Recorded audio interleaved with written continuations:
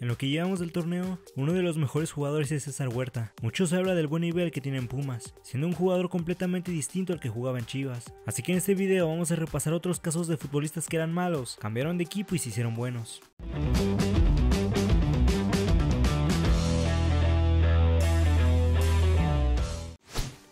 Empezamos con el mismo César Huerta. El chino debutó con Chivas en 2018 a sus 17 años. En 2019 fue cedido a Zacatepec de la Liga de Ascenso, donde mostró buen nivel. Ese mismo año regresó a Chivas, pero en los 9 partidos que disputó no hizo ni goles ni asistencias. En 2020 no entró en planes de Chivas, por lo que fue cedido a Morelia. Jugó 10 partidos pero tampoco logró destacar, y se fue de Morelia sin goles y sin asistencias. Para el Guardianes 2020 fue cedido a Mazatlán, y ahí tuvo una mejor versión que en sus equipos anteriores, anotando 3 goles en 17 partidos. En 2021 regresó a Chivas, pero entre el Guardianes 2021, el Apertura 2021 y el Clausura 2022 apenas jugó 26 partidos, solo 7 como titular, solo hizo un gol y no hizo ninguna asistencia.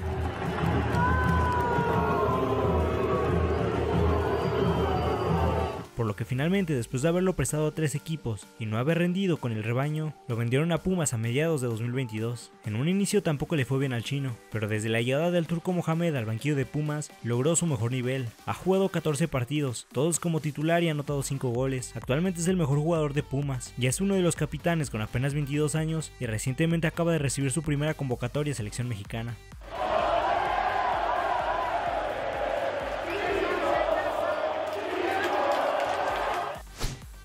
Otro caso es el de Oribe Peralta. Debutó en 2003 con Morelia. Apenas jugó dos partidos y no logró anotar. Después tuvo un breve paso por León en la Liga de Ascenso. En 2004 llegó a Monterrey y en los dos años con Rayados nunca logró ganarse la titularidad.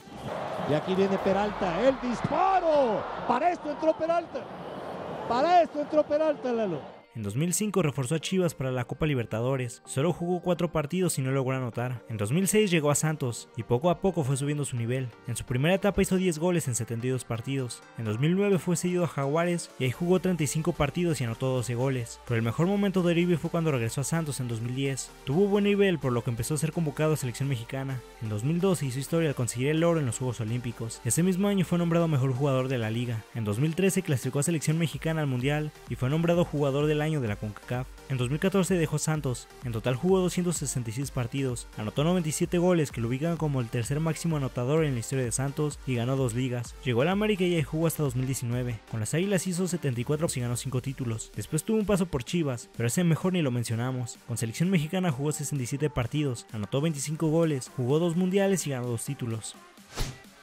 Otro caso es el de Luis Montes. El Chapito jugaba en las filiales de Pachuca. Al no tener oportunidad en el primer equipo, fue cedido en 2005 a Indios de Ciudad Juárez a la Liga de Ascenso, pero no le fue muy bien. Jugó 13 partidos, no hizo ningún gol y ninguna asistencia. En 2007 regresó a Pachuca. En su paso por los usos nunca logró ganarse la titularidad. En los 4 años y medio con Pachuca jugó 109 partidos, pero solo en 10 partidos disputó los 90 minutos. Tras no lograr sobresalir, en 2011 Pachuca decidió mandarlo a la segunda división para jugar con León. Con la fiera Luis Montes se convirtió en otro jugador, rápidamente se adaptó, en su primer año ascendió con el equipo y tras buenas actuaciones en primera división fue convocado a selección mexicana en 2013. Ese mismo año ganó la Liga MX con León y en 2014 logró el bicampeonato, por lo que fue convocado al Mundial de Brasil, que lamentablemente no terminó jugando por una lesión días antes del Mundial.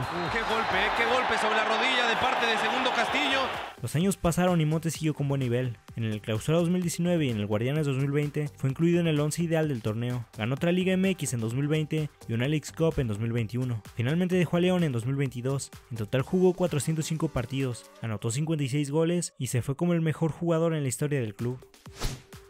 Otro caso es el de Alejandro Sendejas. El mexicoamericano debutó en 2015 en el FC Dallas de la MLS. Apenas jugó 10 partidos y se fue sin goles y sin asistencias. En 2016 llegó a Chivas. Entre 2016 y 2017 apenas jugó 10 partidos con el Guadalajara, en los que tampoco logró anotar ni asistir, por lo que Chivas lo mandó a préstamo a Zacatepec de la Liga de Ascenso. Regresó en 2018 a Chivas, pero en los dos años más que jugó con el rebaño no le fue nada bien. Apenas jugó 13 partidos y anotó un gol. Chivas no le renovó el contrato, por lo que llegó gratis a Necaxa en 2020. Con los Rayos, Sendejas Sendejas empezó a jugar mejor. En año y medio con Ecaxa, Sendejas hizo 11 goles y 2 asistencias en 50 partidos, razón por la que fue convocado a selección mexicana. Después de sus buenas actuaciones con los Rayos, el América lo compró en 2022. Hasta el momento ha jugado 61 partidos, ha anotado 16 goles y ha dado 6 asistencias.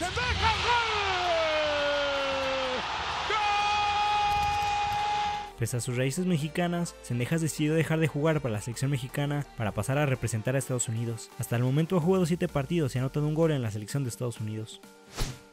Otro caso es el de Aldo de Nigris. Debutó en 2002 en Tigres. En los 5 años con los felinos siempre fue suplente. En total jugó 106 partidos y anotó 20 goles. Al no lograr destacar fue cedido a Veracruz en 2007. Sin embargo no demostró buen nivel y descendió con el equipo. En 2008 llegó a Necaxa, pero tampoco le fue bien. Apenas jugó 8 partidos y no anotó ni un gol. En 2009 lo fichó Monterrey y ahí empezó a levantar su carrera. Tuvo un buen año siendo campeón de liga, por lo que en 2010 fue convocado por primera vez a selección mexicana. Parecía que iba a jugar el mundial, pero quedó fuera de la lista. En 2010 nuevamente fue campeón de liga y en 2011, 2012 y 2013 campeón de Conca Champions, además de que fue constante en selección entre 2011 y 2013. Jugó 28 partidos y anotó 9 goles. Así, barrera para el remate, gol.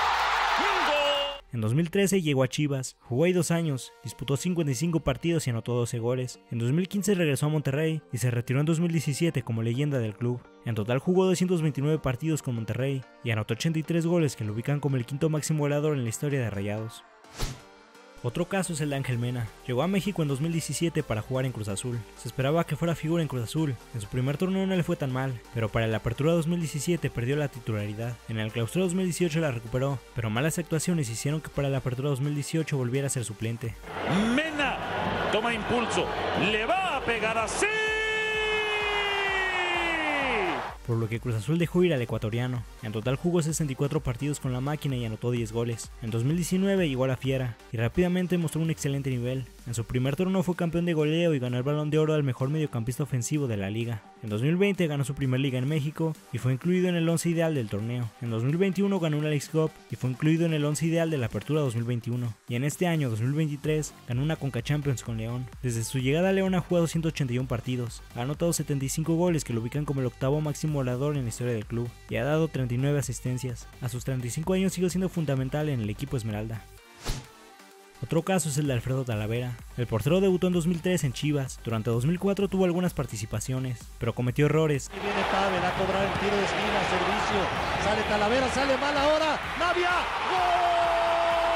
Eso provocó que la afición de Chivas lo abucheara. En 2005 Osvaldo Sánchez se lesionó. Talavera parecía que sería el portero de la Libertadores, pero Chivas decidió reforzarse con Jesús Corona. Aunque en liga fue titular, pero errores en liguilla hicieron que perdiera la titularidad. En 2007, tras la salida de Osvaldo, parecía que esta vez sí sería el portero titular, pero finalmente Luis Michel le terminó quitando el puesto, mandando a Talavera a la banca. En 2008 fue cedido a Tigres, pero nunca pudo quitarle la titularidad al Conejo Pérez. Su carrera cambió cuando llegó a Toluca en 2009. Debido a que el portero titular Hernán Cristante estaba lesionado, tuvo oportunidad y no la desaprovechó. En apenas su segundo torneo fue campeón de liga, atajando el penal decisivo en la tanda de penales. Fernando Arce. Es título de los rojos.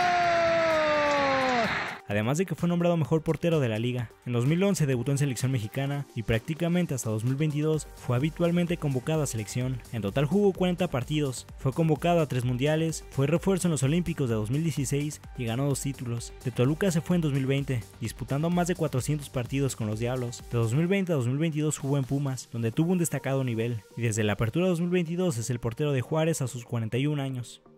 Otro caso es el de Luis Chávez. El mediocampista debutó en 2014 en Tijuana. De 2014 a 2017 prácticamente no jugó en el primer equipo de Cholos. De 2018 a 2019 jugó un poco más, pero sin ser titular y sin destacar. El clausura 2019 fue el único torneo con Cholos en el que superó los 10 partidos. Nítida para Chávez, la pelota al travesaño, queda lesionado Robles. Al terminar ese torneo se fue, dejando Tijuana con 105 partidos y 5 goles. Para la apertura 2019 llegó a Pachuca, llegó siendo suplente, pero poco a poco se fue ganando el puesto en el equipo titular. En el clausura 2022 fue fundamental para el liderato de Pachuca, por lo que fue convocado a selección mexicana por primera vez. Al siguiente torneo fue campeón de liga con Pachuca y al terminar el torneo jugó el Mundial de Qatar, donde disputó todos los partidos y fue el mejor jugador de la selección. Recientemente dejó a los Tuzos, en total jugó 143 partidos, anotó 14 goles y dio 12 asistencias. Con selección mexicana ha jugado 24 partidos y ha anotado 3 goles. Ahora con 27 años es nuevo jugador del Dinamo de Moscú, siendo el primer mexicano en llegar a la liga rusa.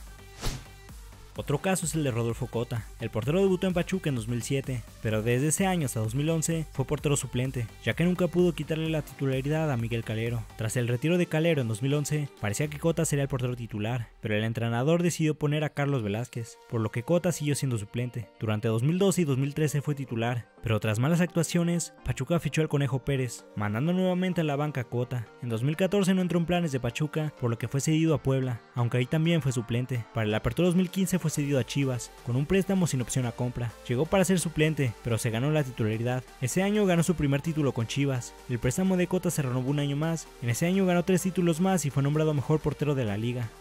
Ahí medio estorbó, pero el remate de Salinas y Cota que se lanza para mandar a tiro de esquina. Por lo que fue convocado por primera vez a selección mexicana. En 2017 se renovó el préstamo por un año más y ahí Cota ganó otro título. Tras tres años a préstamo en Chivas, Pachuca le puso un precio muy alto a Cota y por los problemas económicos que tenía Chivas en ese entonces no lo pudieron comprar. En 2018 llegó a León y mantuvo buen nivel. Llevaba más de 5 años en la fiera y ha ganado 3 títulos. Buenas actuaciones en León hicieron que fuera convocado al Mundial de 2022.